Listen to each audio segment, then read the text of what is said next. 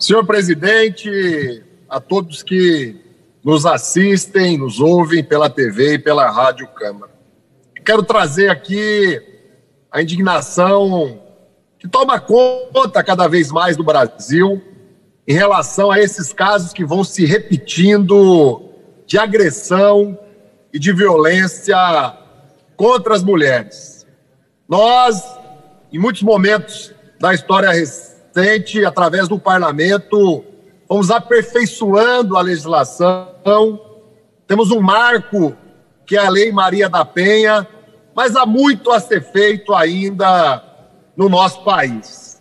Nós temos que continuar denunciando, nos indignando em relação a qualquer tipo de preconceito, a qualquer tipo de violência, a qualquer tipo de agressão contra as mulheres ou qualquer outro segmento da nossa sociedade que seja objeto de qualquer tipo de discriminação, de preconceito e de violência. As cenas recentes de um personagem famoso, né, da música, do entretenimento do nosso país, são não só revoltantes, mas mais revoltante ainda é a maneira com que muitas vezes o poder policial, o poder judiciário não age dentro do rigor da lei quanto aqueles que se imaginam acima do bem e do mal, talvez por serem muito famosos,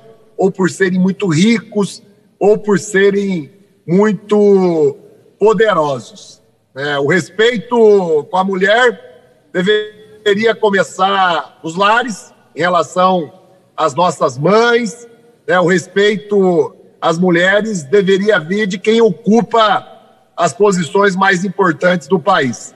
Mas o que pensar né, de um país onde o próprio presidente da República já declarou de uma maneira inaceitável, né, de uma maneira absurda, já declarou de que cometeu uma fraquejada quando, é, em um dos seus relacionamentos, teve uma filha mulher. Nós estamos vivendo tempos muito estranhos nesse país. A nossa sociedade precisa refletir, evoluir, mas cabe a nós, sim, que temos funções públicas, políticas, dar o bom exemplo. Denunciar, se indignar é uma forma de dar bom exemplo, mas respeitar sempre o valor, o papel a importância das mulheres, com certeza tem como um exemplo bastante relevante no dia a dia da sociedade.